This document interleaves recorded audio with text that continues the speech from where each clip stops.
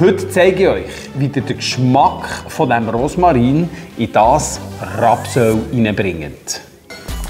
Also als erstes tut ihr das Rapsöl hier in eine Pfanne rein und es auf 80 Grad erwärmen. Da dazu nehmt ihr am besten ein Thermometer, tut äh, die Sonde rein und dann wisst ihr, wenn es 80 Grad hat. Sonst tut ihr es einfach erwärmen nach Gefühl und wenn es warm ist, nicht wenn es kocht, wenn es warm ist, könnt ihr eigentlich starten.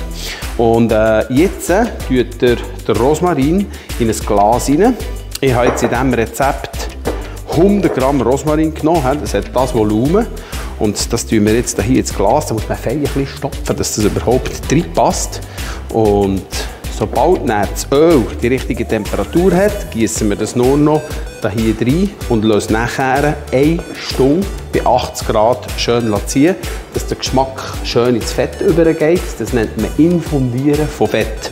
Und so haben wir eigentlich die ganzen ätherischen Öl nachher hier und den Geschmack für den Winter äh, können konservieren. Jetzt nehmt ihr eine schöne Flasche und dann könnt ihr euer aromatisches und schön grünes Rosmarinöl eigentlich in ein Fläschchen abfüllen und das haltet euch nachher unkühlt locker ein Jahr im Küchenschränkchen und ihr habt euren Garten haltbar gemacht.